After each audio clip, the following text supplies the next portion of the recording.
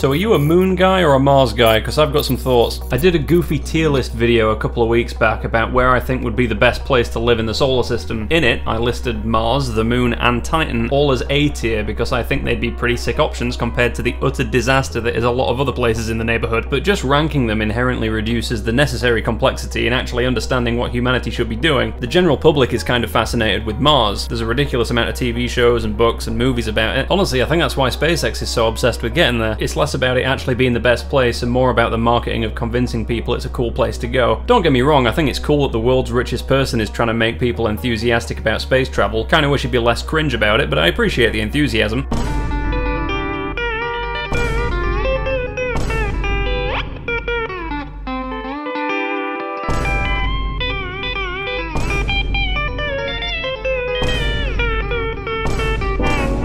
The red dusty landscape is proper sci-fi material, but a lot of people in the comments section of my video told me to suck the red dusty farts out of their asshole because the moon is clearly better. And you know what? I can't be mad, you're kinda right. So why is the moon so great? Easy, because it's right there. I can fucking see it with my dirty evolved monkey eyeball. It's three days away. That's less time than it takes the average Discord moderator to take a shit. It still blows my mind. There's a whole other world and you can just lean your head out of a window and see it. I can see it right now. I'm making fucking eye contact. To get to Mars is half a year, minimum. Have you any idea how much turd a human being produces in six months? Now imagine containing it all in a zero G environment and using it as the fertilizer to grow the only food you're gonna have. Sorry to interrupt, this is just a quick message to say, statistically speaking, you're probably not subscribed, so I'll make you a deal. Press the subscribe button and I won't come over to your house and do this. Give it a button, Alright, thanks, back to the video.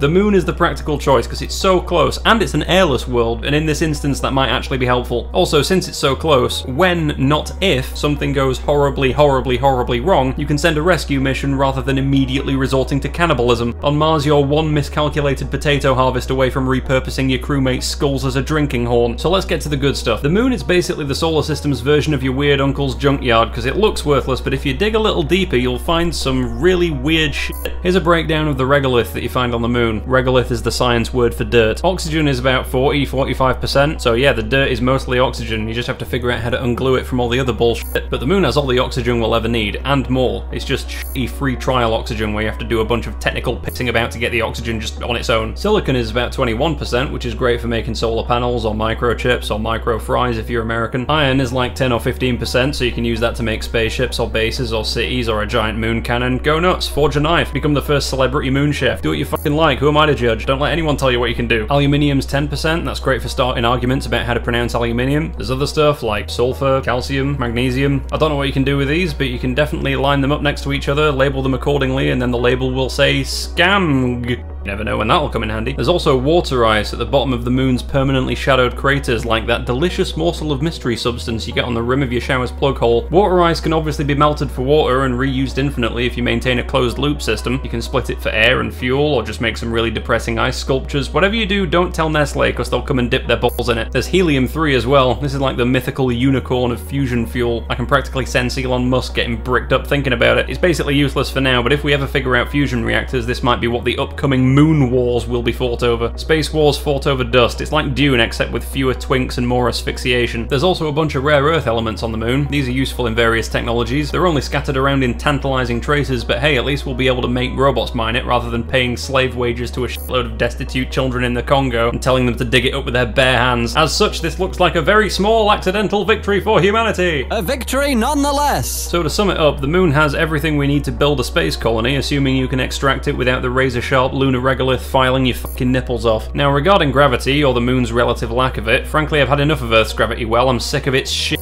The moon's gravity is like one-sixth of the Earth's. Imagine how far you could piss. More importantly, rockets need way less energy to launch from the moon, so you can finally stop crying over your Delta V budget. Low gravity means we can build insane sci-fi crap as well, like a space elevator, a literal tether from the moon to space. It would actually work here, made out of materials that actually exist in amounts that exceed the mass of a gerbil's nutsack. Since there's no atmosphere, we can also build electromagnetic electromagnetic launchers to yeet materials sideways into orbit. Picture a railgun, but instead of bullets, it's hurling lunar rocks at Mac. Holy shit. Building stuff is where the moon flexes harder than a park bench under the immense gravitational force of your mother-in-law, because with all its resources and low gravity, it's the perfect place to build humanity's shiny space future. We could start off in underground bunkers to hide from radiation and micrometeorites. The moon has giant-ass subsurface lava tubes we could live in, which you could think of as a depressing place to live, or you can think of as a pre-made James Bond villain lair. I know which one I'd rather live in. We can strip mine the regolith for oxygen, metals, helium-3, whatever. No ethics to worry about, no ecosystems to fuck up irreparably. No one lives there. We aren't burning any forests to the ground or filling any oceans with oil slick. There is nobody's shit to fuck up there. We can do what we want. We can take everything. Then you can build massive solar farms to keep the lights on. There's no wind to blow dust over the panels. The sun shines for half a month at a time. Better yet, fire the solar cells down the electromagnetic launcher and park them in space. Park them at a Lagrange point. It'll be sunny literally forever. And we're going from the moon already. It won't even be hard to get there. Bonus points if we then beam the energy back to the Earth, because between that and finally pulling our fingers out of our buttholes and converting to nuclear, maybe we can stop filling the air with so much spicy bullshit. And then maybe your children won't have to live in a world that's just a desert with a tsunami slapping them in the face once a day. Those electromagnetic launchers and space elevators will turn the moon into a giant interplanetary spaceport. We'll have all the refueling stations for Mars-bound trips that we will ever need. We could also have lunar telescopes on the far side where the Earth's light pollution can't get in the way. Astronomy on Earth is like trying to look at a grain of rice at the far side of a dark room whilst also being three inches away from the full beams of a Volvo. The moon has the capacity to become humanity's cosmic Costco, except instead of bulk buying toilet paper, you're being gifted essentially infinite resources, which I'm sure all the governments and corporations will use exclusively for non-nefarious purposes. Basically, the moon isn't just a stepping stone, it's a moon. What are you, a Sasquatch? How big are your feet? So the moon is close, resource rich, a perfect place to start building humanity's near space infrastructure. It'll enable us to do some absolutely crazy shit in the future, and it will become exponential if we just put the resources into it now. Sure, colonizing Mars immediately sounds sexier, but that's like skipping foreplay and going straight to slamming your junk in the car door. So there you have it. Stop skipping the tutorial, start with the moon. Thanks for watching, like and subscribe if you want, I'll catch you next time. Over and out.